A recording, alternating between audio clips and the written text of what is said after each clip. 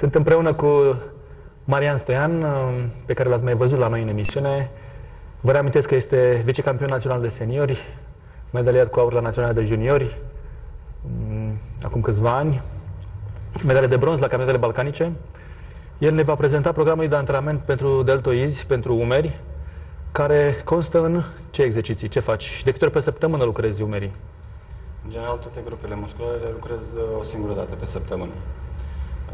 Uh, prin urmare, la uh, această grupă execut împins cu bara, în acest caz la cadru izometric, împins cu bara pe, la piept, aducând bara în dreptul pieptului. Al doilea exercițiu al care este? exercițiu fluturări în lateral cu două gantere, din picioare sau din șezând. Le mai schimb între timp. Și al treilea? Și al treilea exercițiu, fluturări din aplecat cu gantele. Mai execut la acest antrenament pentru deltoizi, mă antrenez și uh, trapez, trapezul, mușchiul trapez. Deci la final? La final, da. Ce aș vrea să știu, sau ce ar vrea să știe mai precis uh, telespectatorii noștri, câte serii faci la fiecare exercițiu? Uh, mai mult de 3 serii, în cel mai rău caz 4 nu execut. Deci în, tot, în total maxim 10-12 serii. Greutățile pe care le folosești sunt mari, mici. Între ce uh, limite te încadrezi ca număr de repetări pe serie? Între 6 și 10 repetări. Haideți să vedem primul exercițiu, să-l uh, descriem puțin și să vedem uh, ce zone acționează, care ar fi greșelile care le puteți face și care ar trebui să le evitați și care este execuția corectă. Ok.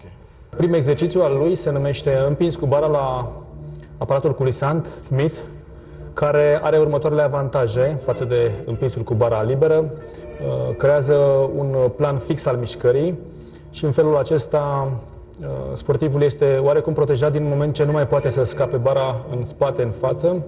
Este foarte important să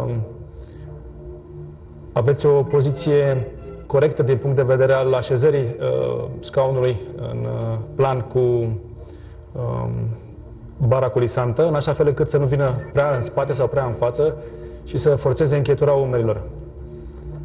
Alt uh, lucru care trebuie știut despre acest exercițiu, împinsul cu bara, este că este mult mai bine să-l faceți de la piept decât uh, varianta de la ceafă, deoarece stresează mai puțin încheietura umelor. Și pe de altă parte trebuie să țineți cont că acesta este un exercițiu de bază, constructor de masă musculară în toată zona deltoidului, mai ales în partea din față și în partea din lateral. thank you.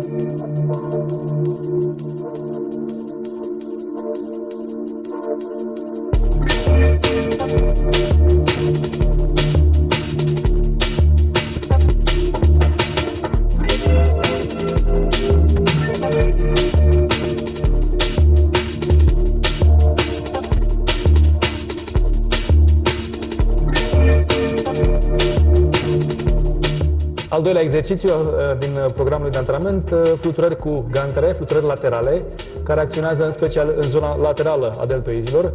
Este foarte important să nu vă lăsați pe spate sau să vă aplicați prea mult, pentru că deja mutați efectul acestui exercițiu ori în partea din spate a deltoidului, ori în partea din față a acestuia. Ori acest exercițiu este special destinat pentru zona laterală. Este un exercițiu de izolare care însă este printre puținele care se adresează în special părții laterale și care este aproape obligatoriu să-l introduceți în uh, programul de antrenament. De obicei, uh, greșelile care se fac aici, pe care trebuie să le evitați, sunt următoarele. Uh, se folosesc de către începători care nu se pricep greutăți prea mari și au tendința să se balanceze din corp, să facă o mișcare din picioare pentru a aduce gantera sus, lucru care este incorrect, deoarece mușchiul nu lucrează mai greu și mai mult, așa cum dorim, pentru a-l stimula ca să se dezvolte, ci de fapt lucrează mai puțin. Altă greșeală care se face este faptul că uh, sportivii nu duc degetul mic puțin mai sus decât uh, uh, celelalte degete și prin această poziție nu, cu degetul mare puțin mai sus decât degetul mic nu favorizează corect stimularea deltoidului lateral. Haideți să vedem cum execută Stoian uh, corect acest exercițiu.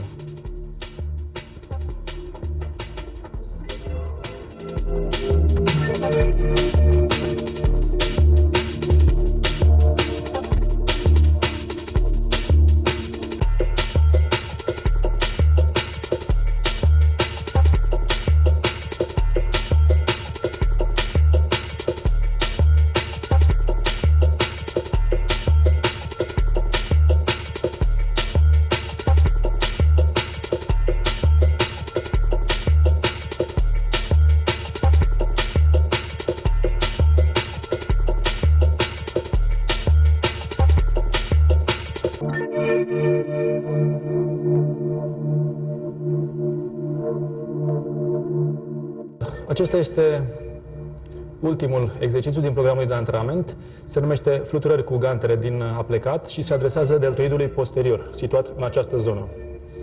El îl execută din șezând pe o bancă.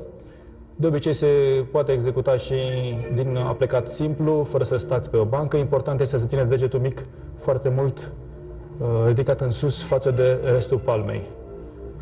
Este un exercițiu de izolare care stimulează direct această zonă și este de obicei cel care încheie, în majoritatea cazurilor, programul de antrenament al uh, tuturor sportivilor care lucrează această grupă musculară.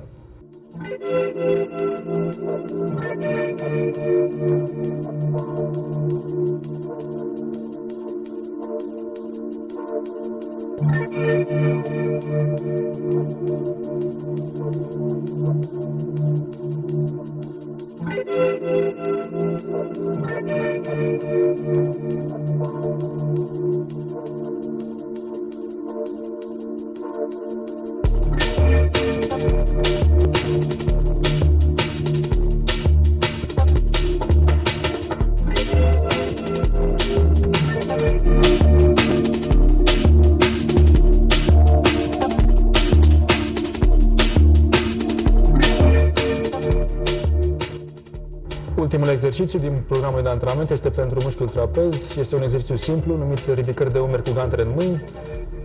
Nu trebuie să țineți cont decât de faptul că trebuie să fie o mișcare cât mai amplă, să ridicați umerii cât mai sus și să-i lăsați foarte mult în jos. În același timp, trebuie să fiți atenți ca să nu vă accidentați la modul cum luați gantele de la, de la sol, cu spatele drept, aplicându-vă prin îndoirea genunchilor și nu în alte feluri.